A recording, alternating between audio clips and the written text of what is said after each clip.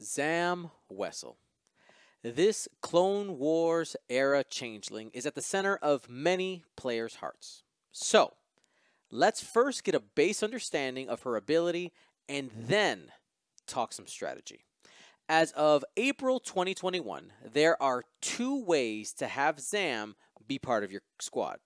She is an Initiative 5 pilot with the Separatist Firespray, and is also a crew card that can be played in either Separatist or the Scum and Villainy factions. The ability for both of these are exactly the same. The only difference, the number of charges available.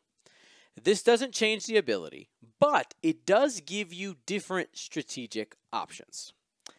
At setup, Zam must lose two charges, meaning that two charges will start on the inactive side. Then, each system phase, you're going to choose one of two condition cards to be active that turn.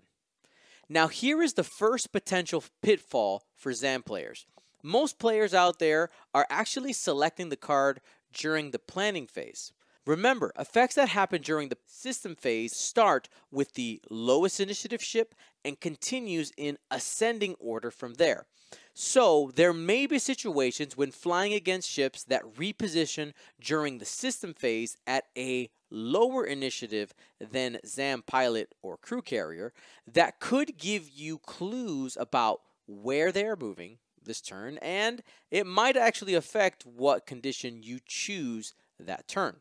ZAM's conditions are called secret conditions because when you assign it, it's actually assigned face down, and your opponent doesn't know what surprise you selected for them this turn. Both condition cards allow you to potentially perform a bonus attack or recover charges. Which one you pick is going to be dependent on the gameplay situation. We'll go through the full card text in a little bit, but let's simplify the text of the conditions so we don't have to look at a whole wall of text, not yet. Both cards are set up the same way. There is a trigger if the enemy attacks you, and there's a trigger if you're in an enemy's attack arc, and that includes any auxiliary arcs or uh, turret indicators, anything like that. If they can shoot you from an arc, it counts. But if you're in that enemy's attack arc and they choose not to attack you. So again, two possibilities for trigger.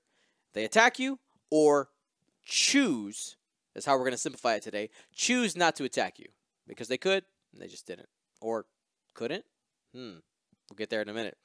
So here's the first one. You should thank me. Option one, you attack me.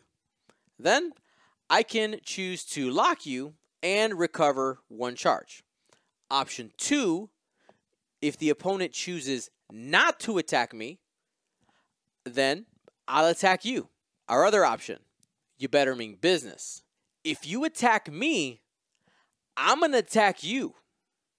Or if the opponent chooses not to attack, then I recover two charges. Now let's talk about some basic strategies in selecting your secret condition.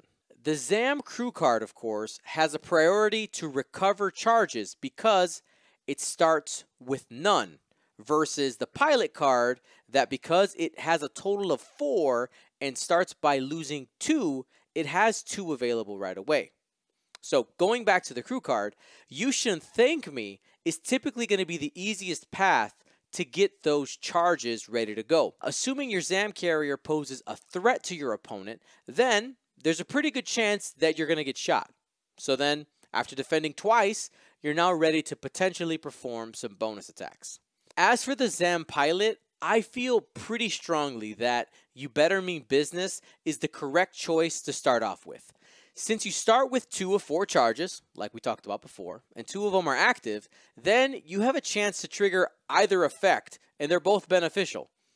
You are either going to be recharging two charges, or you're going to be getting a bonus attack. Now, this is probably a good time to remind you that per game rules, each ship may only perform one bonus attack a turn. So even if all of your ZAM charges are active on the ZAM pilot, that does not mean that you can trigger the bonus attack more than once a turn. Once you're in the fray of battle, usually the easiest way to gain charges is going to be you should thank me. And the easiest way to get a bonus attack is usually you better mean business. Following this pattern is going to give you the baseline return on your investment into Zam Crew or Pilot. You'll probably get one to two bonus attacks. You'll end up with a target lock a couple of times that will benefit some of your attacks.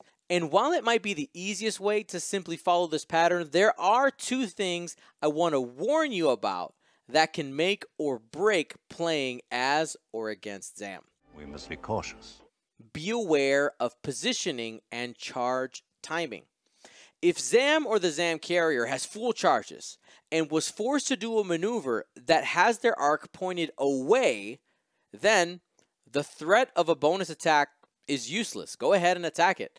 It, it doesn't matter. So make sure that when you're in the planning phase that you're also considering, if you're a Zam player, how your maneuver will affect your condition choice.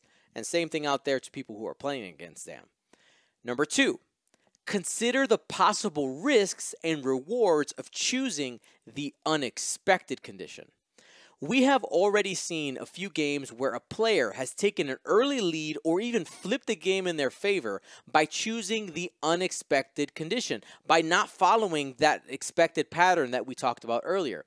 An example of this would be selecting the you should thank me condition with at least two charges active, of course, and the enemy choosing not to shoot you for fear of the you better mean business bonus attack, and then they get a, uh, a nice surprise when you flip over you should thank me at the end of the turn.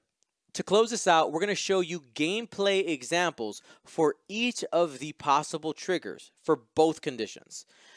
This is going to be great for those of you who would like somebody to just walk you through it, take you nice and slow. We'll read the card text and break it down for all four possibilities. And then to end the video, we're actually going to show you a really clever combo that we'll talk about when we get to the end of the video.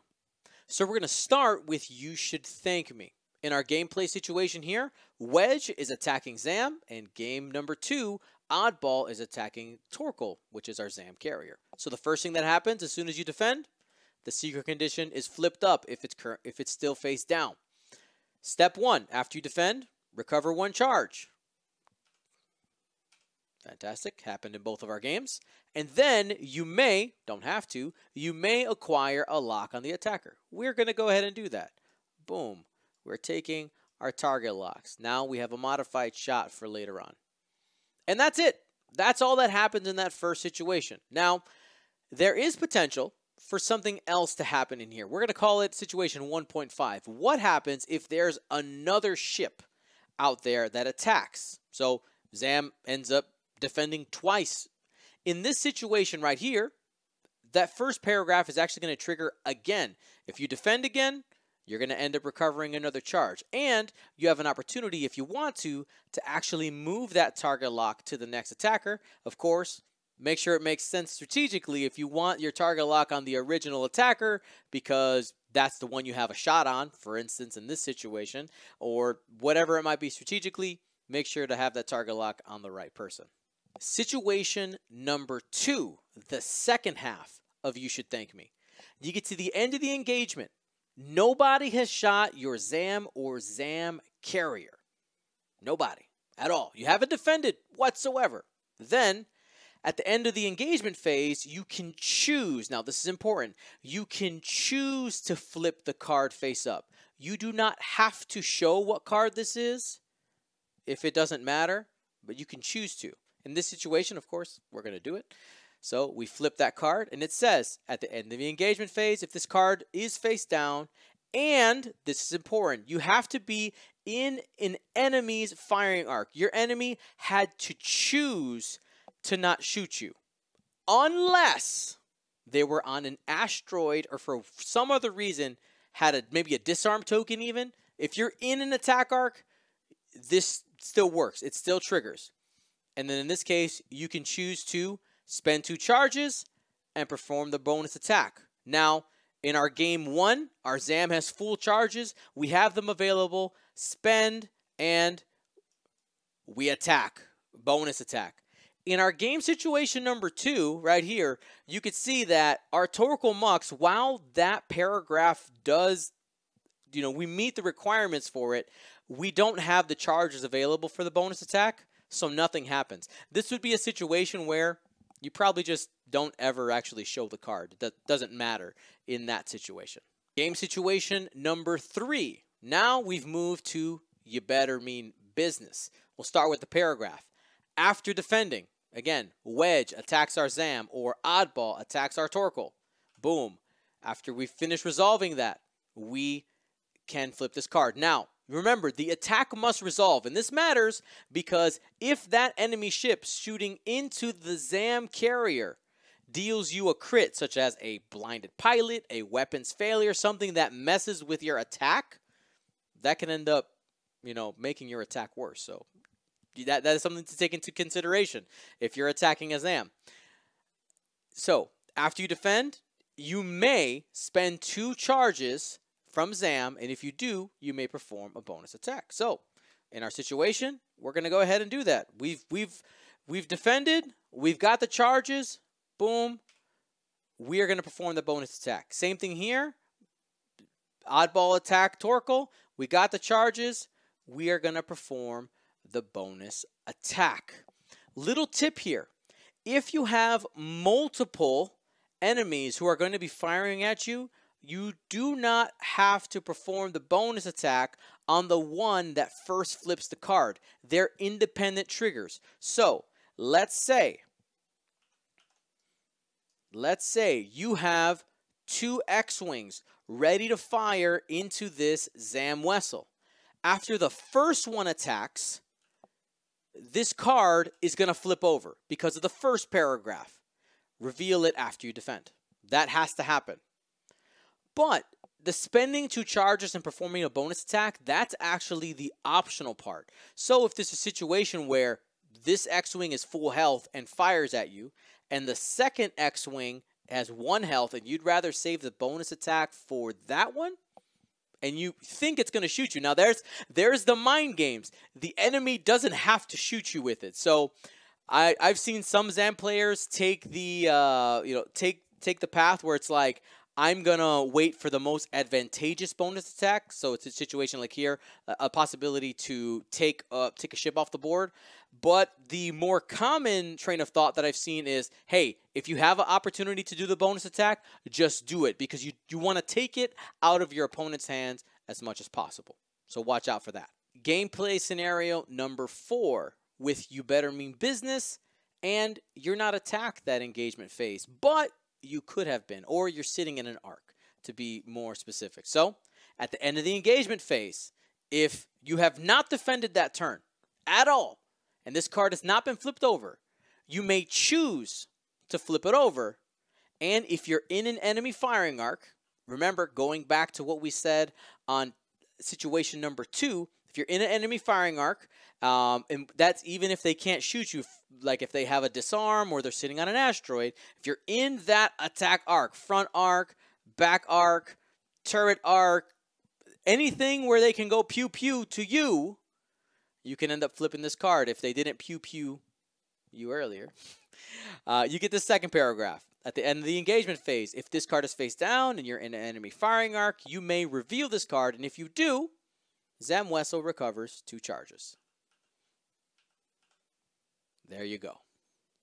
And now we'll leave you with a really cheeky combo using Zam Crew in the Scum and Villainy faction. This was played by Nicholas God. This happened uh, during our Alpha Flight Club Championship qualifier. So the two pieces in the squad that I want to focus on are T'Rani Kolda with cluster missiles, R5TK, and munitions failsafe, and then Torkil Mux with Zam Wesell and Moldy Crow. As we've stated, the ZAM charges start inactive, and the most common way to uh, get those charges active so that you can start performing bonus attacks is to be attacked and use the you should thank me condition to recover those charges one at a time. This cheeky combo allows you to actually charge the ZAM charges yourself without any input from your opponent and with no risk of taking damage. It's quite cheeky. So here's step one of the combo. R5TK allows you to fire at friendly ships. So that is how you're able to recover the charges. Because if you look at the ZAM condition, it does not say when an enemy ship attacks you. It has nothing to say with that. It just says after defending. You become the defender when T'Rani Kolda says, Hey, Torkil, I'm shooting at you. T'Rani then decides to fire a cluster missile. So you start the game and you target lock your friendly ship. You fire the cluster missile, and then you use munitions failsafe, regardless of what you roll, except if it was triple blanks, and say, I cancel out the dice results and do not lose the charge from cluster missiles, so you don't pay the charge for attacking. You're attacking your friendly, and you get the ZAM charge after you take no damage from the cluster missile that you used munitions failsafe to save the charge from. Did you follow along with that?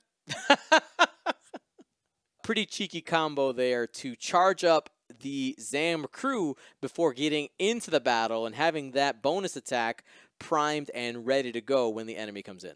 So hopefully after watching this video, you have a better understanding of both the ZAM pilot and ZAM crew card and the conditions you better mean business and you should thank me.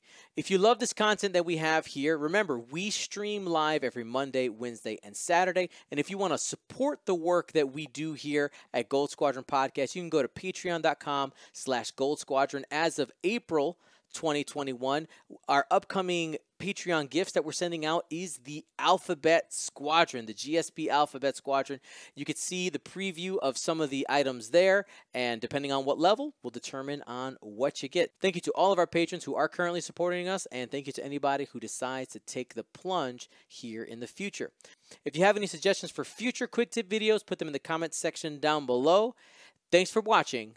Gold Squadron out.